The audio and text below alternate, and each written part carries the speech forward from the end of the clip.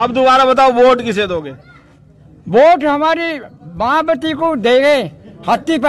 हाथी पे? हाँ, मैंने सुना है तुम पहले साइकिल पे कह रहे थे देने हाँ। को। कौन कह रहा माखी चूस चूस की धारेगी